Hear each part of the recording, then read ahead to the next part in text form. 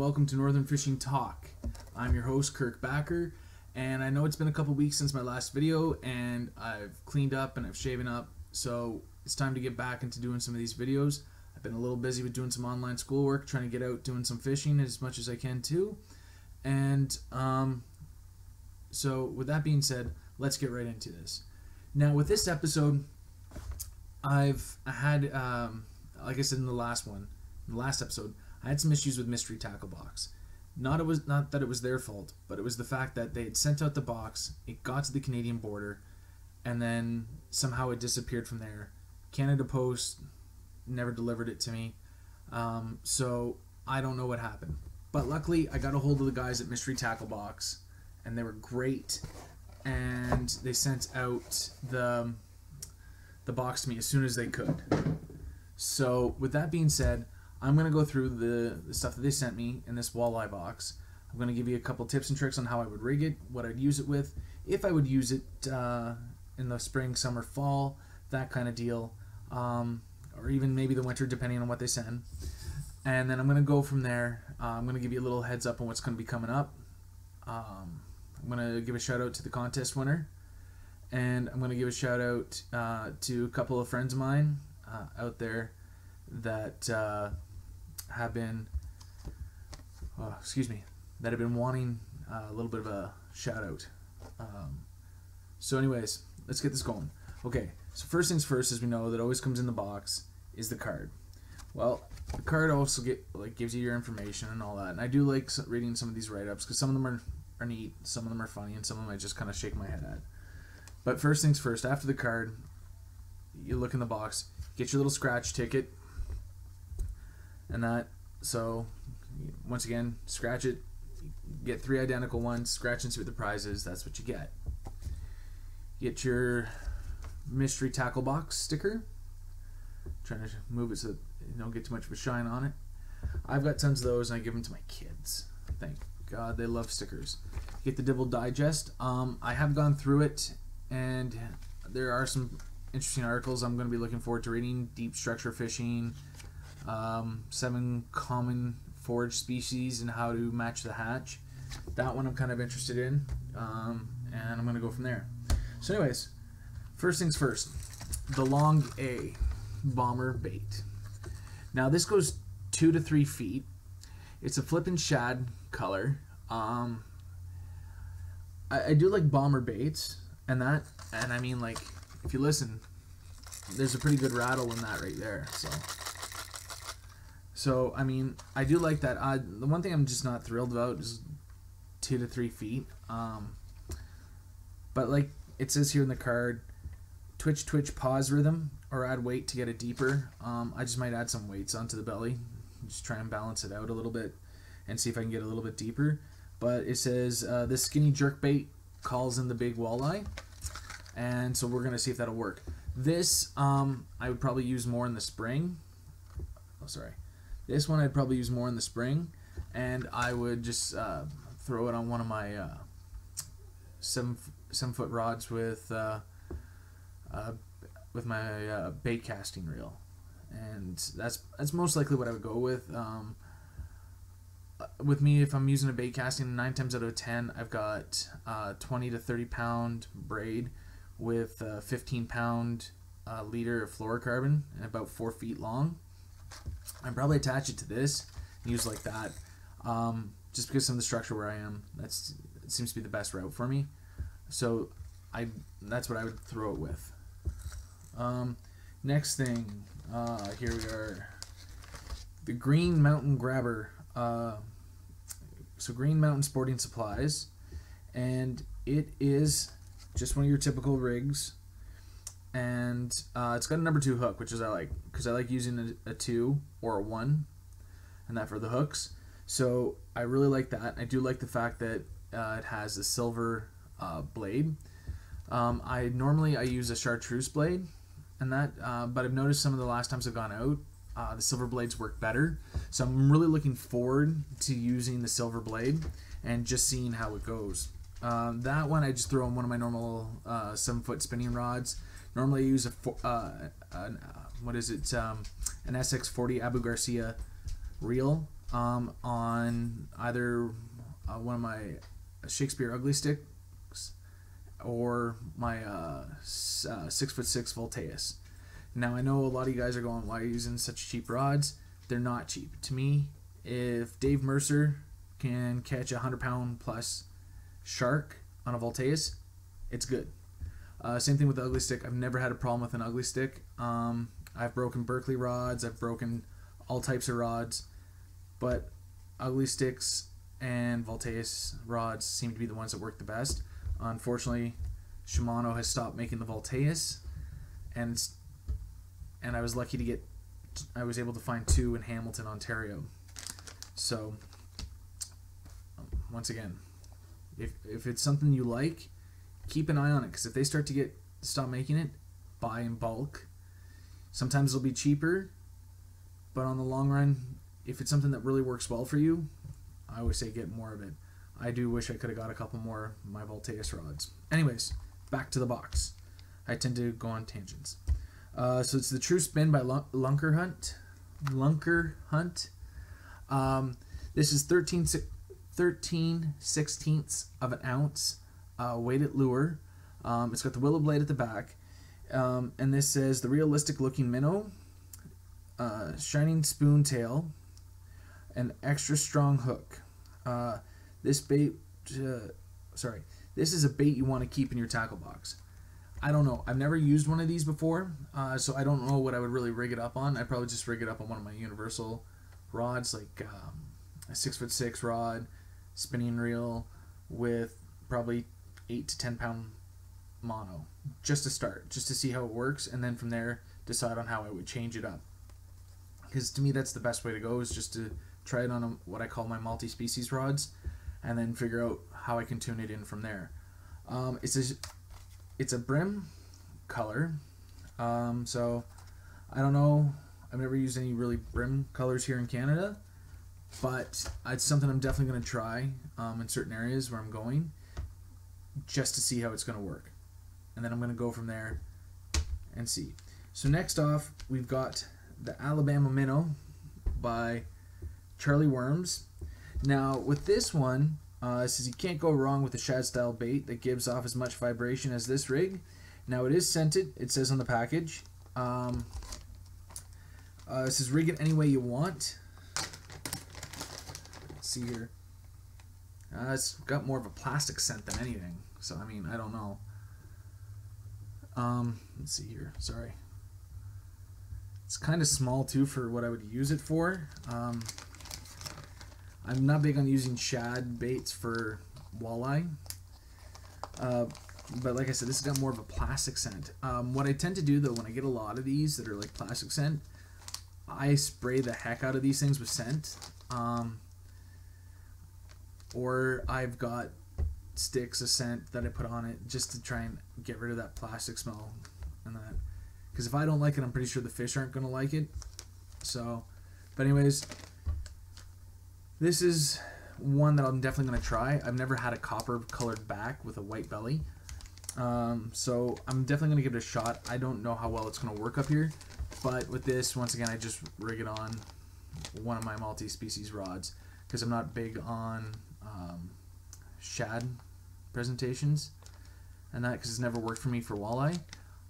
Although if I'm going to use it for bass, I don't know. I would want a bigger shad bait. That's, that's all.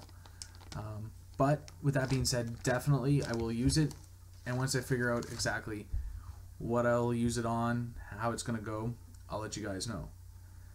Uh, last but not least is the Spinmore Jig. And it's by North uh, North Head Tackle. It says pair up your soft uh, plastics and live bait with this jig to add extra movement and visual presentation to its already flashy style. Um, the only thing I don't like is it doesn't say how heavy the, the jig head is. Because it does seem like it's a lighter one.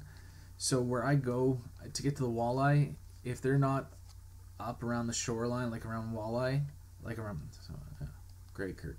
Um, if they're not up around the shore, around wood pilings, the walleye are gonna be deeper. So, uh, with that being said, if the walleye are deep, these aren't going to do nearly enough for me. This would be something I'd more use for ice fishing for pike um, around Orangeville and some of the spots that, are, that I go where the, it gets maybe 10, 12 feet deep at the most.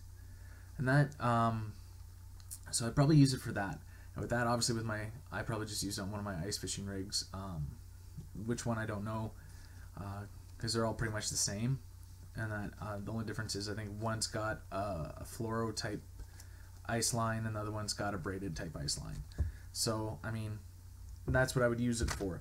Now the prices of these, some of them seem to be pretty reasonable to me, to be honest with you. Um, the bomber is six forty nine, which roughly in Canada we probably find them for between that and eight bucks. So I mean that's that's fairly uh, reasonable in my opinion. Uh, the uh, the rig, the Green Mountain uh, Sporting Supplies rig, that one, um, I find it hard to be 250 uh, because I can get a lot of my rigs up here for like under two bucks and they're handmade. Also, um, I get them from a little shop up in North Bay, Ontario. When I go to visit family, I always pop in. I pick up a couple each time. So to pay 250 for for that, uh, unless it's made of fluorocarbon, I haven't really checked yet. But if it's fluoro, then yeah, I could see paying 250. If it's just mono, like a lot of these are done from, 250 no. Um, True Spin, this is saying 649. So I I don't know if it's it says on here that it's new. So I I can't really say.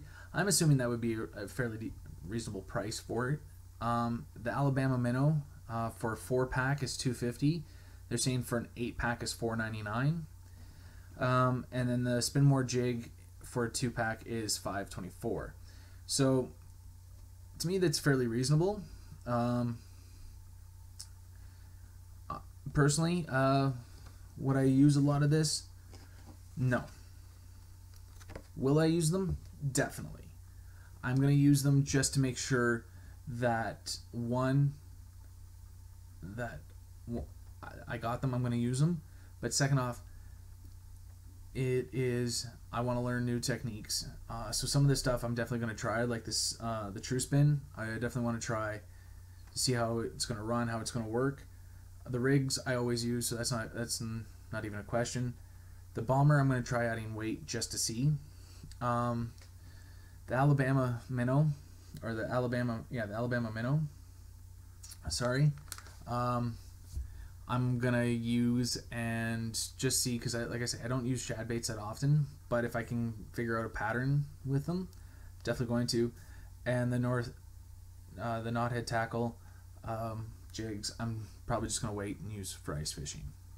So that being said, that's most of the stuff I'm gonna use spring, early summer. I probably won't use fall because where I go fishing in the fall, um, it's mainly going to be just trolling with spoons. So a lot of this is spring summer baits for me. Now, I said at the beginning of the video that um, I'm going to give a finally give the shout out to the, pers- first person that hit all my sites, and the guy's name's Walter Lang. So Walter, thank you for liking them all. Um, and on top of that, um, if you if you guys are watching, pay attention in the next couple of videos. I will be giving out information on the second uh, contest, which I will actually send you something. I won't be just a simple shout out. I will send you something, but it's all gonna depend on the next little bit on what it is, and when I know exactly what it is, that's when the contest will be um, rele- released and so please pay attention for that. Uh, second off, I have got, done some fishing recently. Um, I went out long weekend here in Canada. Um, the May 2 4 is what we call it, or Victoria Day weekend, depending on your age range.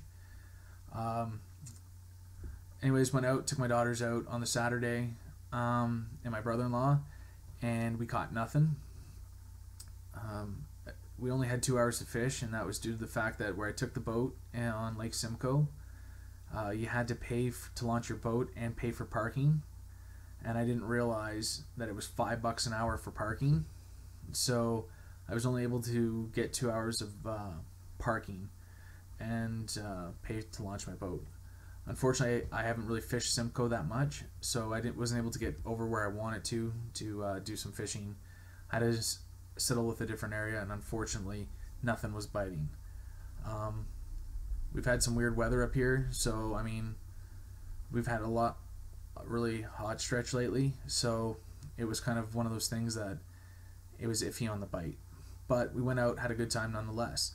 Uh, the Sunday, I took my brother-in-law and my daughters out and my wife out to do some fishing up at a little uh, conservation uh, area just north of us, um, Island Lake Conservation Center in Orangeville, uh, and we just did some pan fishing. We got some rock bass, some perch, some uh, sunfish, stuff like that. So we did, so I did get some on that weekend. Um, not much. I only got one.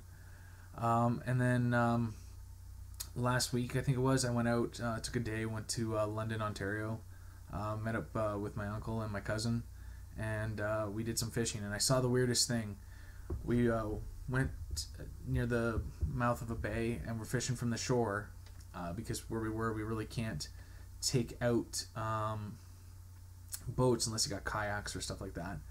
But um, in this little bay area, we had these pike blowing up like crazy, and it looked like they were trying to um, go after bass. It was really weird because one of them looked like it had a bass in its mouth and it was fighting, but there were two other, two or three other ones that were they were just going nuts. And unfortunately, where we were, we couldn't get a good look, so I don't know hundred percent what was happening, but it's the weirdest thing I ever saw, and unfortunately, I wasn't able to record it. Otherwise, I, I played for you guys, but it was the weirdest thing I've ever seen. Um, and then we so we stayed there for a couple hours, trying to cast into that area, hoping that another pike or another fish would hit. Um, unfortunately, nothing did.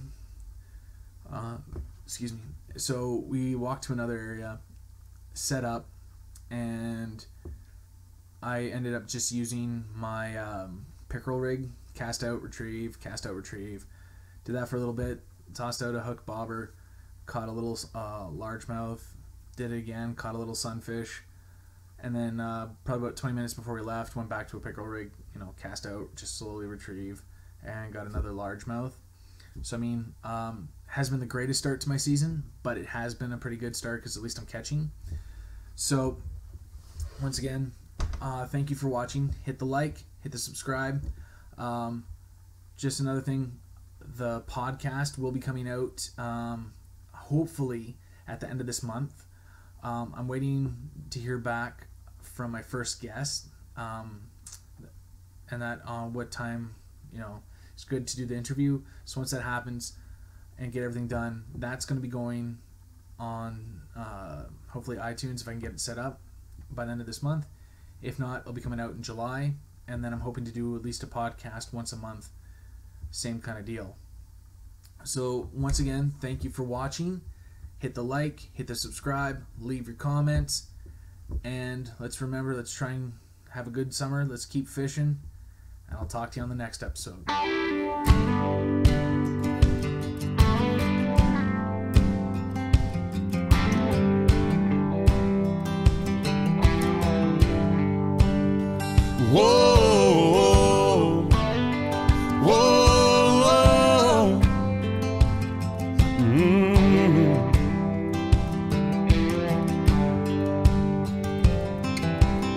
Can make a living.